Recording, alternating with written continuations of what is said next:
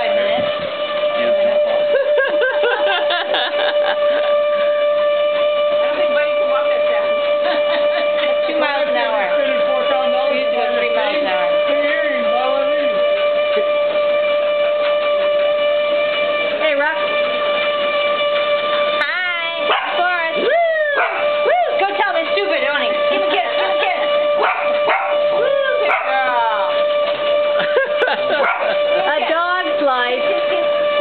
It on there one day and he went?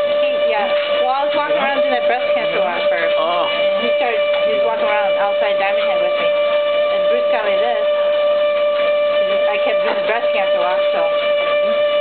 Yeah, think now he likes to do it by himself, which is kind of peer pressure. You know how to get off it without stopping it?